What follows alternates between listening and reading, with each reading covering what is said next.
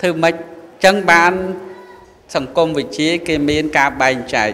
ការលើកទឹកចិត្តមាន3ញោមមាន3សង្គមវិជាគេបានលើកឡើងទី1គឺសរសើរទី1សរសើរសរសើរកដាលចំណុំចំណោបមហាជនឧទាហរណ៍ថាបកណាអង្គណាលោកមានគុណបំណាច់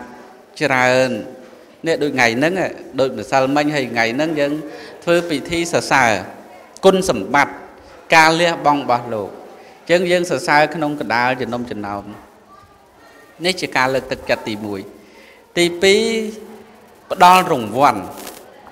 ដូចបវាណាបច្ច័យ4ឬក៏ណែធ្វើបន់ប្រកេនអញ្ចឹងដូចរង្វាន់អញ្ចឹងដូចប្រកេនរង្វាន់ដល់លោកអញ្ចឹងហ្នឹងហើយទី3ផ្ដល់ទួនាទី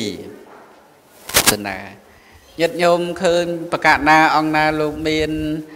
ចំណេះអាចជួយផ្នែកណាបានដូចតែជួយបង្រៀន ខាងវិន័យខាងប្រសូតខាងអភិធម្មទៅឲ្យលោកទទួលបន្ទុកខាងនឹងទៅអង្គណាអាចគ្រប់គ្រងវត្តបានក៏ប្រកេនតំណែងវត្តឲ្យលោកទៅដូចព្រះអង្គរំហល់លោកឆ្លាតលោកមានក្រុមការងារបន្តវេនដឹកនាំទោះបីលោកនៅស្រីលង្កាមែនក៏ប៉ុន្តែ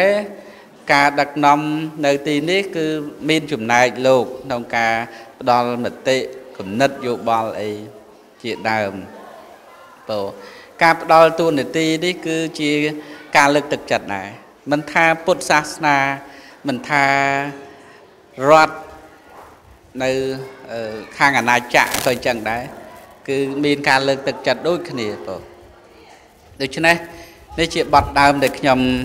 ប្រកាសណា